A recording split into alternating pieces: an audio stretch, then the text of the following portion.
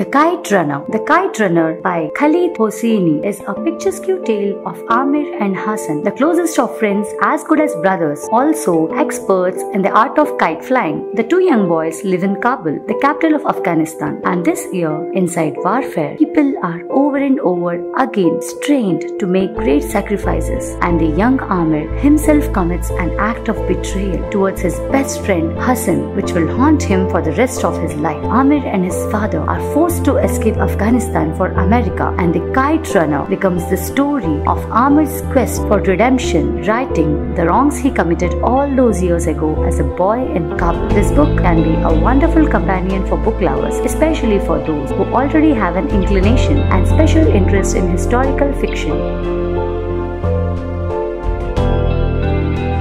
Keep reading Brainfeed for more updated information.